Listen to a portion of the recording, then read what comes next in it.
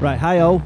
This is my uh, demo forward slash review of my Rickenbacker 4000 made in 1976.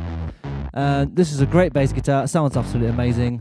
Um, there are some disadvantages. It's a little bit head heavy, so in order for it to sort of stay stable in one place, you're probably gonna need a nice wide leather strap like I have uh, like I have here. But um, uh, occasionally you'll have to just readjust during during performance. So that's uh, one of the downsides of uh, this lovely bass guitar. The difference between this and the most common Rickenbackers is that this one only has one pickup, the bridge pickup, and uh, the other Rickenbackers, the 4003 and the 4001, they have two pickups, and the second pickup is the neck pickup.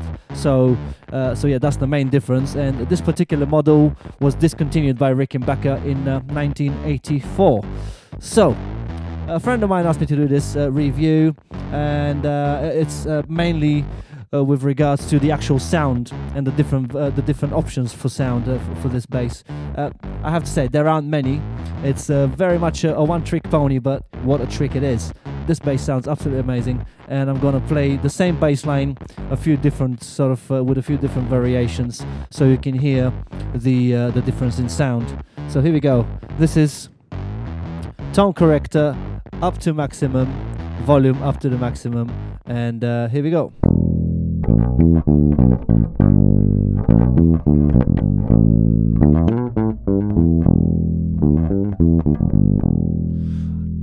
Now I have to stress this is completely clean, straight with a cable into my audio interface, no plugins, no uh, effects, nothing, just straight in. Now I'm gonna turn the tone corrector down to zero and you're going to hear the difference. Here we go.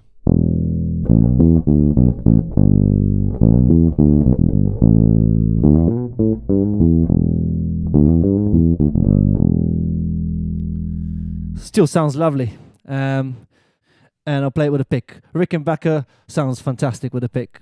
Um, a few years ago, I was not really, until about a few years ago, I was not really a pick player, but since I bought this bass, uh, I've I've really got into playing with a pick, and uh, it sounds amazing. Check this out.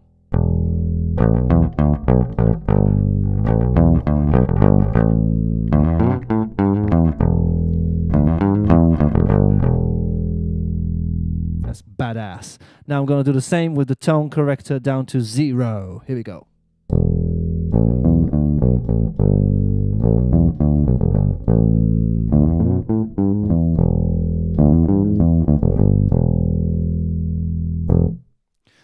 Nice. Now, if you wanted it to have uh, much more of a modern sound on recording, what you can do is record it with uh, both pots up to max, straight in, sort of uh, clean channel, no effects, record the bass line, and then just scoop the EQ uh, on your on your um, uh, DAW. For example, you know I'm using Logic, so what I'll do is I'll just open the EQ and I'll scoop the middle, the middle frequencies, and I'll boost the the the treble and the low in um, the, low uh, frequencies, which will make it sound very modern, almost uh, Pantera-like, one might say. You never know.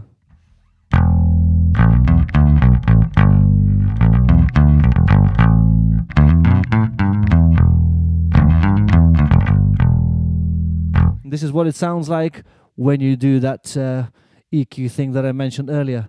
Well, uh, I hope you found this useful. Check my other videos out and leave some comments under this one if you find it interesting, or if you want to say something rude, I don't mind. Ta!